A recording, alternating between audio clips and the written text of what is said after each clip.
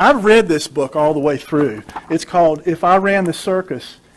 I invite all of you to read this book. Get your hands on it and tell me what's offensive in this, this book. The only thing that I could find, two items.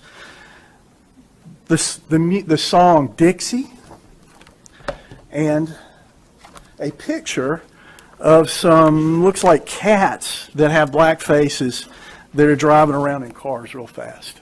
This is all I could find in this book that might be offensive.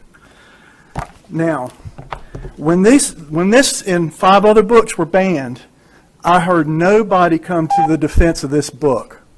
But I hear people now defending books that you've heard with the content of them. They're clearly offensive. Why is this banned and those books aren't?